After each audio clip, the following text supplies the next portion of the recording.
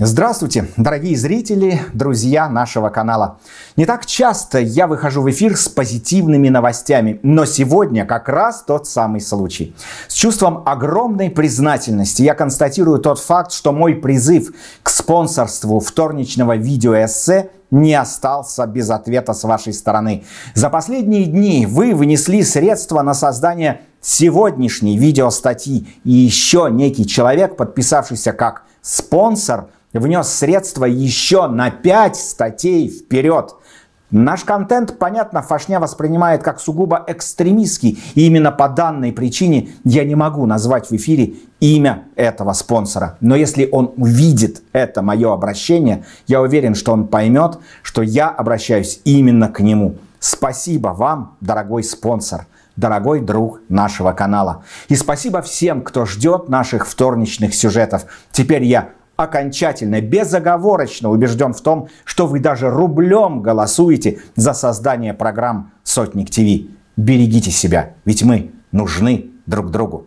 И да, последнее. Если на этот материал ютубчик опять влепит 18+, смотрите видео на нашем сайте или в Vimeo. Всех обнял. Увидимся.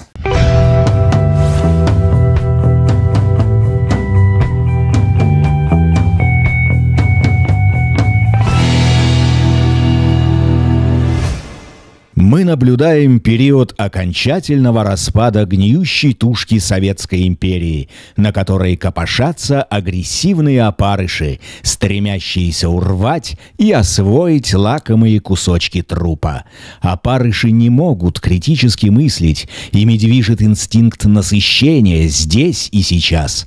О будущем они тоже не думают, и тут червякам в логике не откажешь. Какое будущее может быть у дохля кислятины. Король опарышей – самый лучший отброс, сплачивающий вокруг себя остальную массу паразитов. Процесс освоения тушки может растянуться на десятилетия, пока она не превратится в обглоданный скелет. Тогда опарыши расползутся в разные стороны, но пока есть пища, они увлеченно пируют на вожделенном трупе. Этой метафорой можно было бы и ограничиться, успокоив себя тем, тем, что однажды все закончится, а костяшки покойницы распадутся. Но в реальности все гораздо хуже. Путин одержим идеей реванша. Вопрос сформулирован предельно четко. А зачем нам этот враждебный мир, если в нем не будет монструозной России, которую все боятся? Поэтому, собирая под свои знамена постсоветских орков, он готовит последний поход на Запад, дабы решительно схлестнуться в горячей битве за первенство или хотя бы за признание паритета на политическом пространстве. Путина не устраивает парадигма «Запад-Китай». Игра на третьих ролях унижает Вована Грязного. Он создает третий полюс – агрессивный анклав, дробящий Европу и угрожающий ближайшим соседям, консолидирует самые мрачные силы с оглядкой на Китай, который, кстати, признал недавнее голосование состоявшимся. Хорошая новость только в том, что в этом фашистском мероприятии не приняла участие добрая половина населения, разочаровавшаяся уже во всем. Но даже это не утешает. Уже завтра на охотный ряд вползет самый мерзкий звероящер, какой только можно было создать. Мутант из Прилепина и Вассермана, из чрева которого вылупляется башка Сталина с трубкой в зубах. Лехторат Навального обеспечил явку протестно настроенных, и теперь можно громогласно заявлять о легитимности рожденного чудовища. Оно уже начесывает лапы от нетерпения, чтобы начать нажимать на все возможные фашистские кнопки. Все, что не приняла дурная предшественница, пролетит со свистом и азартным причмокиванием. Отменить мораторий на смертную казнь? Пожалуйста. Новый семейный кодекс, как пожелаете. Новый гражданский кодекс? Без проблем. Ну а пока благодарный фюрер пролонгирует санкции против россиян, подписывая указ о продлении запрета на импорт продовольствия из стран Евросоюза, США, Канады, Австралии, Новой Зеландии и еще пяти государств. Плевать на инфляцию и перспективу дефицита. В войну и не такое терпели, и она снова на пороге. Евросоюз заявляет о серьезных нарушениях на трехдневном голосоевище. Это вражий выпад против суверенного выбора орков.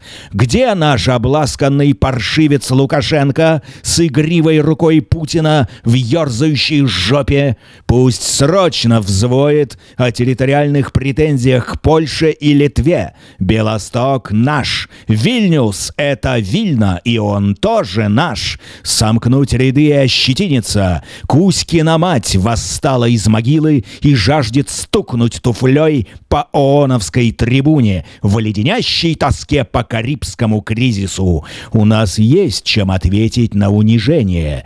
Пепел сталинской трубки стучит в наши сердца. Заряжай вундервафлю, да взойдет последняя заря судного дня. На фоне угрозы непризнания итогов пневых дней обвалился рынок российского госдолга. Нерезиденты режут позиции, а рубль вновь падает до трехнедельного минимума 73,6 за доллар. Но что россиянам эти доллары? Они с ужасом ждут показательного полета цен. Так, цены на гречку в России достигли десятилетнего максимума, превысив 100 рублей за килограмм грамм. Таких цен не было даже в начале пандемии, когда гречку скупали на фоне панических настроений. По данным Росстата, а это всегда критично заниженные цифры, за год картофель подорожал на 43%, капуста на 70%, морковь и подсолнечное масло на 27%, сахар на 38%, яйца на 15%, крупа на 17%, свинина на 12%, 20%. Нате вам 10 тысяч, россияне, и ни в чем себе не отказываете. Вы такие же, как и мы. Вон, Песков тоже выиграл червонец после онлайн-пень-косования и заблестел буркалами от счастья. Помимо Евросоюза, наморщившегося от вони, испускаемой богиней пеньков Эллочкой Памфиловой, свои пять копеек вставил и Госдеп. Применение российским правительством законов об иноагентах, экстремистских и нежелательных организациях существенно ограничило политический плюрализм и не позволило гражданам России воспользоваться своими гражданскими и политическими правами, заявили заявили американцы, призвав прекратить кампанию давления на гражданское общество, политическую оппозицию и независимые СМИ. Бедные несчастные американцы, ничего-то они не понимают, совсем не разбираясь ни в талибах, ни в скрипышах, и те, и другие, нежные и самобытные, на лицо ужасные, мрачные внутри, и лучше их не трогать, пусть скачут по горам и ползают по родным пещерам, исторгая утробные звуки в сторону гниющего забугорья. Их вожди стремятся к изоляции, взывая к глубинным корням Средневековья, нетронутого дьявольскими технологиями. Млея от гибельного восторга, россияне готовы броситься в зияющую бездну одичания, где в свободном полете, как в невесомости, можно творить все, что угодно, жрать друг друга, подставлять, предавать, не боясь осуждения, потому что в фашистской черной черной дыре нет ни морали, ни нравственности, ни репутации, и дна тоже нет. Вы удивитесь, как быстро мутирует Россия, из которой уже вылезает половозрелый ублюдистан. И вчерашняя балалайня покажется светлым пятном на фоне того, что рождается прямо сейчас. Спасибо всем, кто зазывал к пеньковому разврату, страстотерпцу Навальному, великомученице Соболь, пересмешнику Шендеровичу, психотерапевтке Шульман, да воздвигнут вам рукотворный памятник-столбняк на колосящейся компостной куче путинизма. Ничего, что занозы теперь в заднице, просто пенек был жесткий, но мы отважно самонатянулись, не испугавшись болевых ощущений. Вперед, в прекрасный ублюдистан будущего, без страха и сомнений. Да и к чему они, когда репутации больше нет? Месись, говно, до однородной массы. Нам еще надо попасть в неогулаг, дабы успеть построить светлые шейгограды, аккурат перед тем, как взмоет в небо ракета «Авангард», райская предвестница судного дня.